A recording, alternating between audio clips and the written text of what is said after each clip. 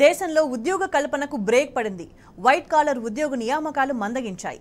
ఈ ఏడాది October November నెలల్లో నిరుడుతో పోలిస్తే పన్నెండు శాతం హైరింగ్ కార్యకలాపాలు తగ్గినట్లు నౌకరీ జాబ్ స్పీక్ ఇండెక్స్ తాజాగా వెల్లడించింది. ఐటీ సాఫ్ట్వేర్ టెలికాం విద్యారంగాల్లో మారిన పరిస్థితులే ఇందుకు ప్రధాన కారణమని నివేదికలో పేర్కొంది. గతేడాది అక్టోబర్ నవంబర్ నెలల్లో వైట్ కాలర్ జాబ్ రిక్రూట్మెంట్స్ రెండు వేల ఏడు వందల ఎనభై ఒకటిగా ఉండగా ఈ ఏడాది రెండు వేల నాలుగు వందల ముప్పై మూడుకే పరిమితమయ్యాయి. గతేడాదితో పోలిస్తే టెలికాం రంగంలో ఉద్యోగ నియామకాలు గరిష్టంగా పద్దెనిమిది శాతం పడిపోయాయి. ఆ తర్వాత విద్య రిటైలింగ్ రంగాల్లో పదిహేడు పదకొండు శాతం రిక్రూట్మెంట్లు దిగజారినట్లు నౌకరీ డాట్ కామ్ తెలిపింది. అంతేగాక చమురు గ్యాస్ రంగాల్లో వైట్ కాలర్ ఉద్యోగ నియామకాలు గతంలో కన్నా తొమ్మిది శాతం పెరిగినట్లు వెల్లడించింది. అటు ఔషధ బీమా రంగాల్లో కూడా ఐదు నుంచి ఆరు శాతం కొత్త ఉద్యోగ అవకాశాలు పెరిగినట్లు తెలిపారు Naukri dot com chief business officer Pavan Goyal.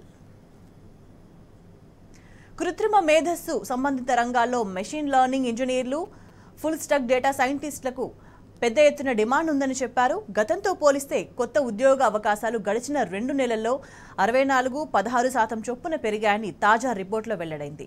Delhi NCR ముంబైలో పన్నెండు శాతం చొప్పున తగ్గింది.